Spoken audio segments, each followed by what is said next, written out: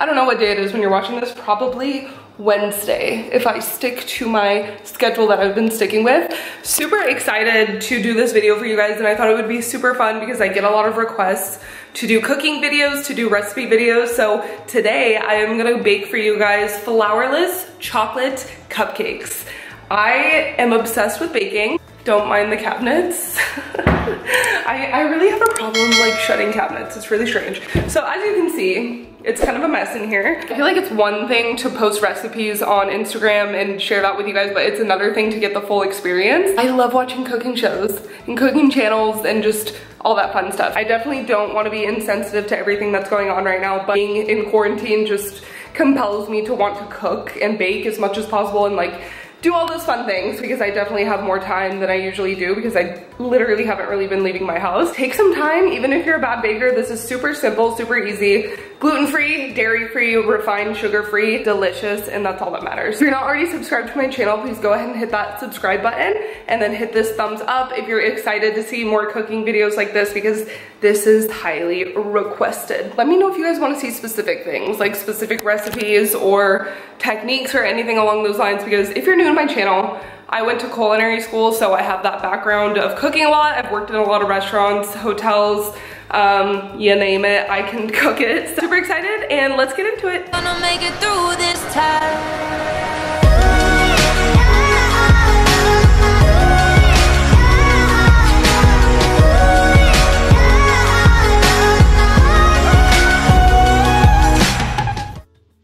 Alright you guys, for this recipe, and bear with me, you're gonna need 1 and 3 fourths cup blanched almond flour. You're also going to need 3 fourths cup maple syrup, half a cup of raw cacao, half a teaspoon of baking soda, some um, olive oil spray, 4 eggs, Himalayan pink salt, and stevia, uh, or you can use vanilla extract. And then obviously you're going to need a pan we're gonna mix the dry ingredients with um, all together. So this is super simple. All you're gonna do is add the cocoa powder to the almond flour and just mix it up really well. Also add the baking soda as well. Go ahead, go ahead and add your pink salt and then mix it all together really well. I had a bunch of clumps, so I had to mix it for quite a bit. Get a separate bowl.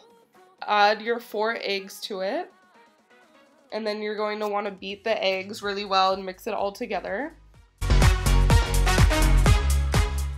In this bowl, you're going to add the maple syrup as well. Mix it both together really well. This is where you can add the vanilla extract or the stevia, and then you're going to whip those together. Then you're going to combine the dry ingredients with the wet ingredients, and this is going to make the cupcake batter. So you want to mix it really well because almond flour is pretty grainy. So I was whisking for about a couple minutes. Go ahead and grab your cupcake tin and then spray it with the olive oil spray or coconut oil. Start adding your cupcake batter into the pan. You can use an ice cream scooper, but honestly, the batter is like liquidy enough to where you can just pour it in. Preheat your oven to 325 and then stick them in. And I did mine for about 35 minutes. Now for the fun part, gonna clean my kitchen. This is not fun at all. We're gonna go ahead and make the frosting now. So all you need is chocolate chips and you're gonna microwave them for about 20 second intervals. Bring it out of the microwave every 20 seconds and stir. And then at the end of it, you're gonna pour some maple syrup to make it thicker to be able to spread onto the cupcakes. Can we just talk about how beautiful these turned out? So I'm going ahead and frosting all of the cupcakes very generously and they turned out amazing and they look absolutely beautiful. There you have it, you guys. Gluten-free, dairy-free, refined sugar-free, double chocolate cupcakes. Oh my God, look how good these look.